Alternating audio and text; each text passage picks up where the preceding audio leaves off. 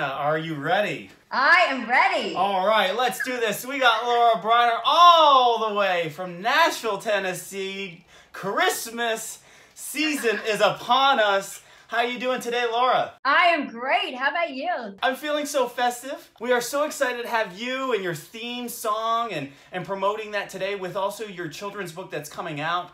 Uh, but really quick, I want to let our audience know a little bit about your, yourself and your story. So if you don't mind, tell us a little bit about where you're from, your musical influences, and, and if you had music, if it was that you know important growing up. You know, I am from the uh, Maryland, Washington D.C. area, little town called Mount Airy, or I sometimes call it Mount Scary because you turn left at the cow, right at the church, and keep on going directions. so I'm from the middle of nowhere, and I have always loved music. Music was always in our house we uh, my parents have a jukebox that we would dance to. We would dance and sing to the oldies but goodies. And and my sisters and I, we just thought we were the greatest things going. And so we would charge my parents, I think it was like 25 cents a show.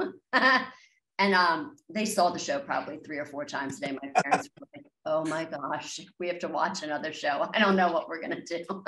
yeah, so uh, it's always been in my blood. I love music. I, I love country music always. It's always been in my heart. Uh, I love the melodies. I love the lyrics. It's about real life. And, and, and I've really gotten into songwriting too. And and I, I love, to me, my dad always would say, you know, Laura, you really can't sing about something unless you've been through it. And he's like, of course, I never want you to feel heartache or I never want you to feel uh, pain in any way, but you can't sing a bluesy country song without having felt it, that kind of thing. So uh, I'm all about the lyrics, the melody, and and I I love collaborating with other people. So to me, it's I don't usually write by myself. I love being with other people and and bouncing ideas off of one another. And and uh, I have always been a part of music. I I always want to know. I, have always wanted to learn and and know and and grow. And because I think you know what, when you're not growing or you're not learning, what's it all about then? You know.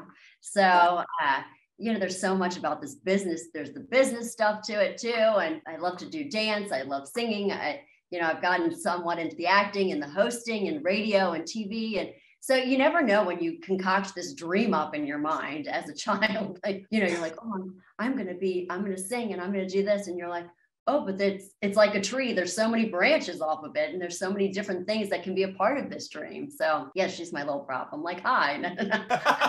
um, but from there, I from Maryland, I did a lot of uh, musical theater and and performed in Washington D.C. at the Kennedy Center. To I went to school in Philly and and and did different shows and recordings there. Got into voiceover stuff and again some musical theater off Broadway and moved to Nashville to pursue the dream. And and I've been splitting my time back and forth with between Nashville and LA. And, you know, there's so just so many different parts to the career, to the dream. And so to me, it's been, it's been exciting and, you know, I've been recording and gotten into dance music too. And, and yes. definitely my way back to country. Yeah, I, I, wanted to talk about the dance music really quick. So hold on, really, really quick. You have a following. They're called the Bryniacs. Is that right? Yeah. Right? I, I they are my family. They're amazing, always so supportive, you know. And to me, it's a group of us that we really developed. It's been developing always, but really during the pandemic, we all got really, really close. And my father passed away during that time. And so it was, was not of COVID from a rare blood cancer. And, you know, it's, they helped me through that so much. And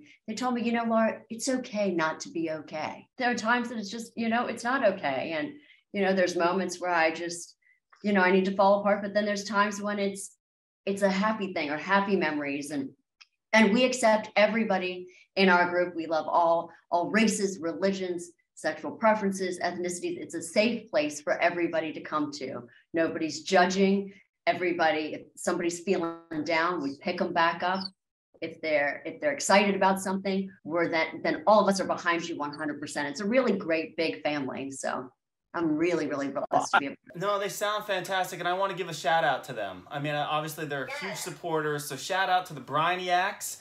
But to get back into, into dance music, uh, you got into you know into international dance music. I felt like when I was listening to a little bit of it, you had this Sophia Ellis-Bextor vibe. You got Body First.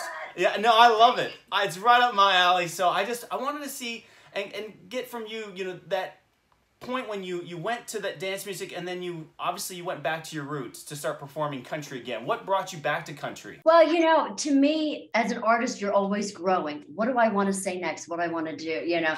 And so i got together with this great producer. I, I love him Damon Sharpe. We're like we're definitely family. And and we've been co-writing a lot together too which is wish list and jawbreaker and body first. And he was like you know laura i never want to take you out of you but i want to stretch i want to I want to challenge you. I want you to stretch. I want to, where can Laura Bryna go? You know, he's like, I'm never taking country out of you because that's you.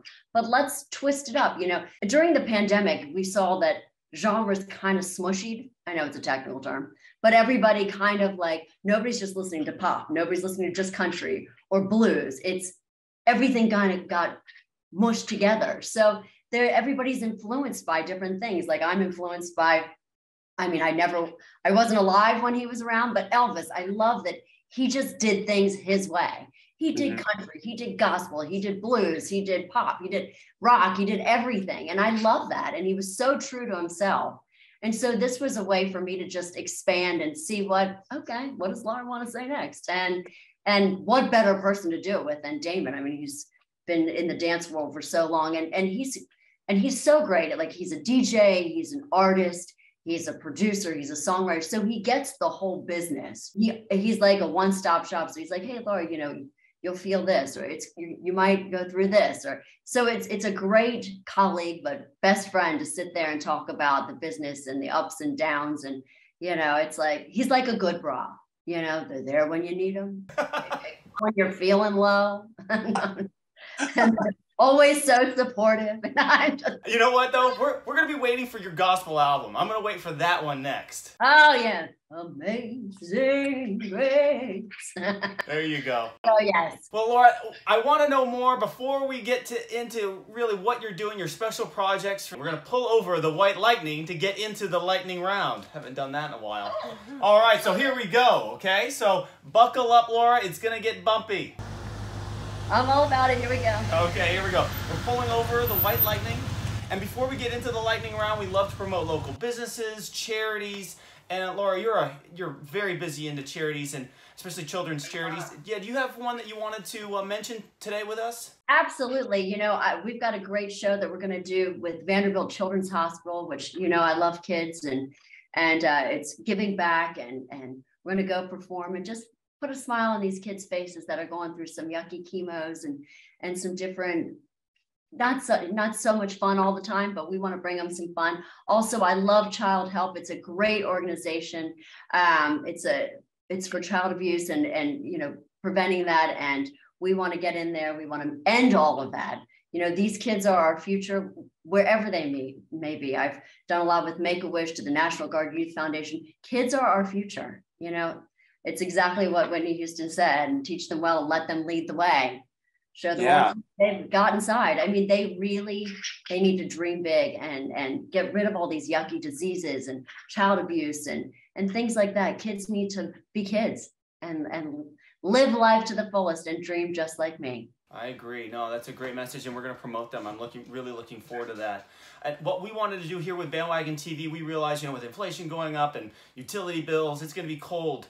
So just, you know, if you are, if you're in those department stores and you're just thinking of it, go get those extra blankets and maybe donate that to your local charity. I know that anything helps, especially with food, clothes, you know, even blankets. So uh, if you get a chance, even things that are people, you know what, that you may may not need anymore you know what? Somebody. Exactly. So if you do have have extra blankets laying around, you know, go donate, and it's a, it feels good, but it's also it's it's a it's a good thing to help your community, your local community, and everyone's going to need help this winter. So we wanted to mention that, yeah. But uh, thank you, Laura, for mentioning your charities. We're gonna plug those. Um, and here we are. We're going to get into the lightning round, so I hope you're ready. I'm ready. We're bumping along. Okay, here we go. Now, you have you've you've toured with these artists or you've opened with these artists, and I'll let you explain. But I wanted to ask you, Carrie Underwood or Taylor Swift? Oh, both are great. I um.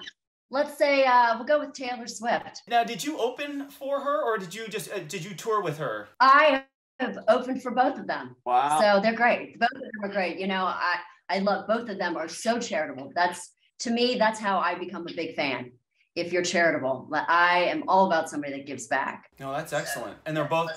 Yeah, no, that's uh, that's awesome for them to, to do that too. So I, it's huge.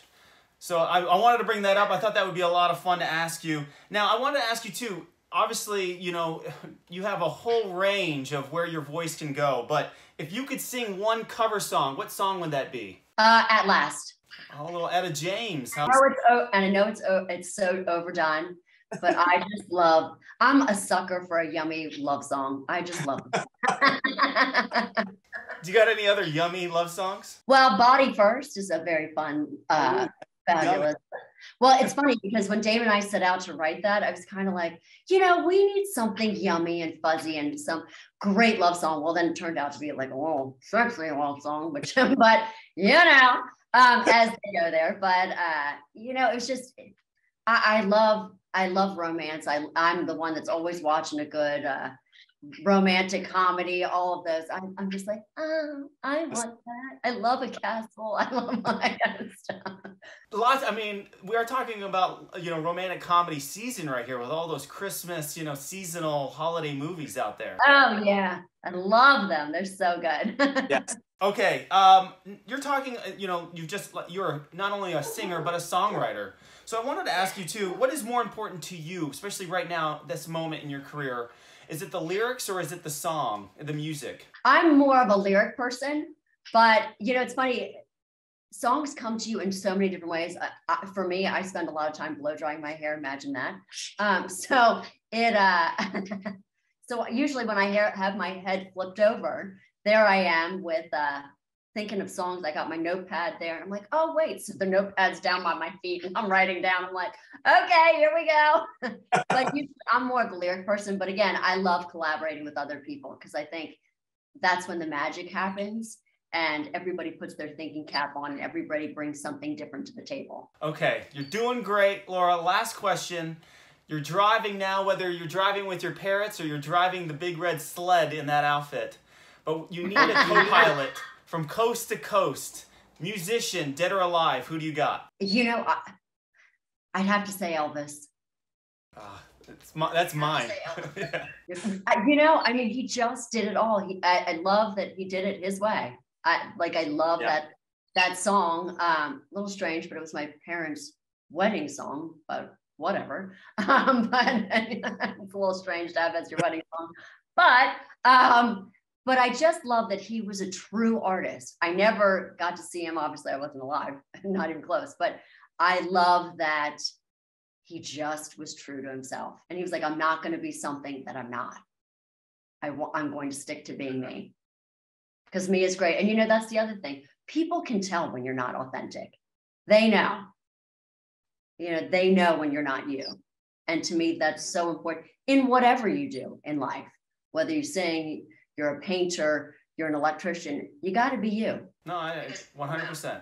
Well, let me ask you. So you're getting so yeah, let's just for for uh I want to say shits and giggles, but for for for, the, for the for the event, you wearing that outfit, you're you're driving the, the big red sled. Elvis is getting in. You need to play one song. Are you playing your own song? Are you playing one of his? Are you playing your maybe your your parents' uh, wedding song? I mean, which song are you playing for Elvis if he gets in? Oh, well, you know, we could do Jawbreaker because it's a little bit of a sass and attitude. So it would be my song. But then I'd be like, honey, you need to get on this wish list too. So, or he's on my wish list. Jawbreaker it is. I love it. Okay, so this is a great segue because you did great. You did great. That was the lightning round. But I wanted to talk about you've had the Jawbreaker video out. The song has been out now for a couple months. It's great. Like you just said, it is sassy. The video is well done. I mean, uh, if you don't, just really quick before we get into what's going on in Christmas, tell us a little bit about shooting that video. Oh my gosh, that video was so fun. And it's funny, like if I, I always say, if there was one song that I could sing the rest of my life that I felt was me, I would say it's Jawbreaker because I feel like it's the fun, it's the sassy. It's I feel like it's so me. It's got a little bit of that country, it's got the blues, it's all of uh, everything. And Justin Key from Taillight, sorry, I'm now swinging feathers everywhere. um, from Taillight, they're a great production company. He had such a great idea and a vision of taking Roadhouse to Moulin Rouge to Coyote Ugly to the actual movie Jawbreaker and smushing them all together. Yeah. That's the word smush. Um, but he brought it all together and he, he did exactly that. And he brought this song to life, which I love that people are getting to see different sides of me from Body First to the Jawbreaker and now Wish List. People are getting to see that there's lots of different facets to who I am. Um, yeah. But yeah, he brought that whole song to life. And, you know, who doesn't want to shove a jawbreaker in someone's mouth? Long. well, your talents, your talents run deep, and that's and this is exactly the segue I wanted to get into, which was what we're you know promoting today and and obviously you see one of your parents with you and you're promoting your new children's book yes it's called the tra- uh, christmas tradition if, if you could tell us a little bit about the book and, and um, just the story behind it. Sure, absolutely. So it's about three of my birds. And how this whole, whole thing started was uh, my dad and I drove across country with the birds from Nashville to Los Angeles. I was doing some work out in Los Angeles and I was like, you know, let's do this. It was the best thing I ever did in my whole life. Um, especially now with my dad having passed away. Um, those are memories that you'll that you'll never forget. I mean, there we were cracking up. We're going into like, sorry, Marriott Residence Inn, but we were shoving birds up our shirts because you're not necessarily supposed to have animals in there. We're shoving them up our shirts. Birds are moving underneath like this. Again, different show. Um, but it was definitely one of those things. We're stopping at Dairy Queen, stopping at different gas stations to uh, Amarillo, Texas, where, where the, all the Cadillacs are. We spray yeah. painted our names on there. And it just was a ball of fun and just sitting there with my dad and and my birds and it was just incredible and and so th- this is a part of a series like there's snuggles goes to hollywood and harmony the little one runs for president of the Birdabon Society. Um, okay, you can't eat my bills. Um, so, um, but yeah, so this this book is it teaches kids, but it's just not Christmas is not just about, um, and it's really colorful and fun, but Christmas is not just about getting presents, it's about giving back and helping those less fortunate. And so the these are actual traditions that we do in my family. Like we bake cookies and we sleep under the tree and and we do um, we go sledding and and and those kind of things. But we also go and volunteer at, at a homeless shelter. And one of the traditions that I love was my parents always told us, you know, go find a student in your class anonymous without them knowing, and you need to find out everything about them. And so the night before Christmas, it would be like a secret Santa. We would go out and we would buy gifts for, for the student and their family, and we would leave them on the porch, knock on the door, and run. And so the kids thought that Santa came, and you know, their parents were so grateful and so thoughtful. And what you see in this book is the kids get so excited and they're like, oh my gosh, Santa came. And let me find the picture. And here it is in the book where the birds do it.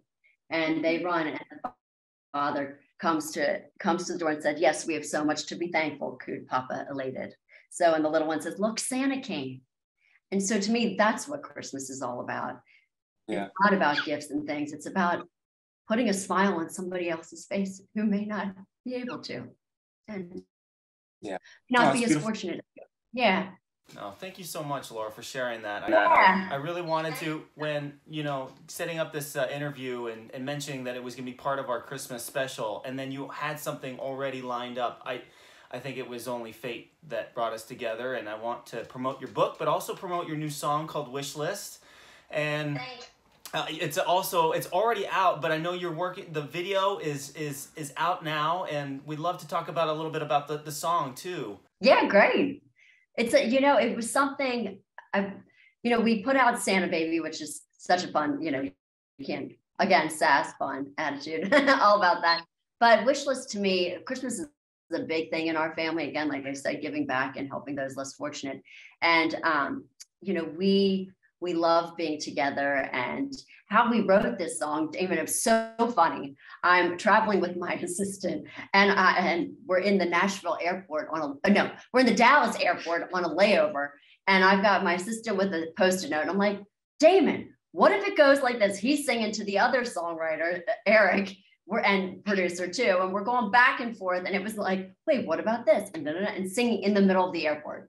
And it's just so funny how songs happen and they come together. So it was really, really fun. And along with Michael Carey, who's another producer on it, there's lots of horns. The Waters family, who are legendary, iconic, have sang on everything from Neil Diamond to to any great you think about. They just bring that beautiful, soulful gospel sound. And it just gave that whole throwback feel to Wish List.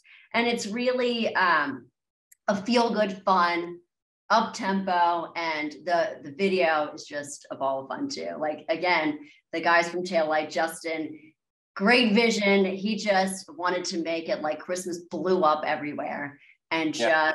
just looks like it exploded. Oh my God, I had so much snow in my hair. Holy cow. Like, oh my God, I'm just pulling out snow for days. well, I, when I'm listening to it, you know, it's like I said, it's out and it has that old fun Christmas vibe to it. When it, you know, like Peggy Lee, uh, those classics. So I just, you know, I wanted to thank you. Just one, also not just having the song available too. So I wanted to. Now this is on you, Laura. How one do we find the book?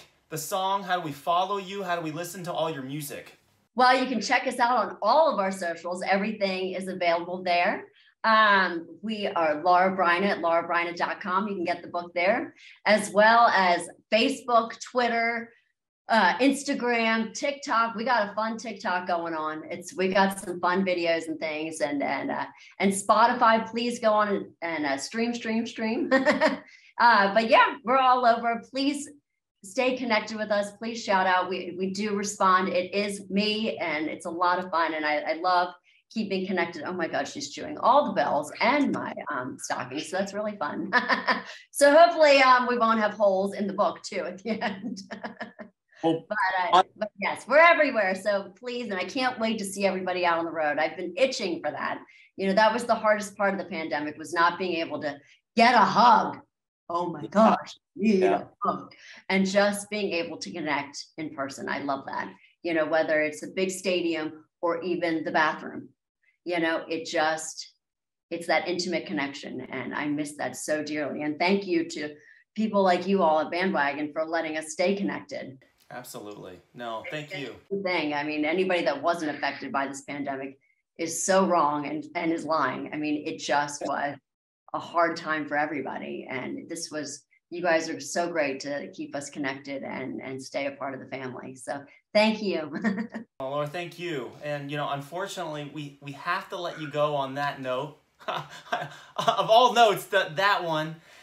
But we, th we thank you for the book, for the fun interview, the questions, and look at this outfit. I mean, you know, not I was not expecting what you went and above um, expectations. So thank you so much for par uh, participating and be a part of this e this episode. Thank you so much for having us, and I can't wait.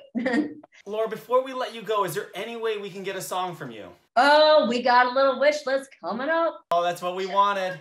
All right, well, here you go. This is Laura Bryna Wish List.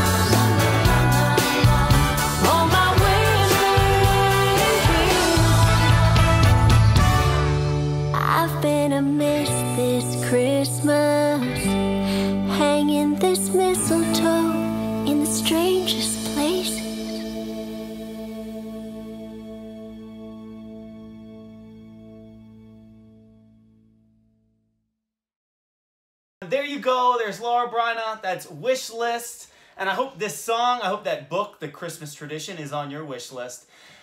Laura, thank you so much for joining us today with Bandwagon. Uh, you know, I wanted to mention too, you're, you're a huge help and a huge inspiration to others, but also our, our heroes abroad and here on our homeland, uh, the military. You do a lot with them. You had a song called Hometown Heroes. Uh, thank you so much for helping them out and supporting our troops. Thank you so much. You're absolutely right. Oh, there's a little doggy. but you're Yeah. absolutely, you know, those those brave men and women, they give their their time, their energy, their lives. Their family gives their time, their energy, a- and, their lives too, just so that we can live in freedom every day. And I wouldn't be able to come out with wish list, the book, everything, if it wasn't for those amazing men and women. And so thank you for letting us dream. And we wish you the happiest and healthiest Christmas, whatever you whatever you celebrate, and Happy New Year, happy and healthy. And if you're overseas, please return home safe and sound. Yes, absolutely. And I know you do a lot with them, so you might have an event coming up here uh, the next uh, holiday season. But thank you so much for you know being a part of this episode and being a part of season six. Uh, we loved having you. You were a lot of fun, and you got a lot of things going on. So definitely, our audience, make sure you check Laura Bryna out. Thank you so much for having me. Come check it out. Yes, and if you're ever in Texas, you gotta say hello. Amen. Yeehaw. We're, we're coming. Oh, perfect. All right. Well, Laura, thank you very much. Maui Christmas. Happy holidays. Happy New Year to you and your family and friends. tweet, tweet.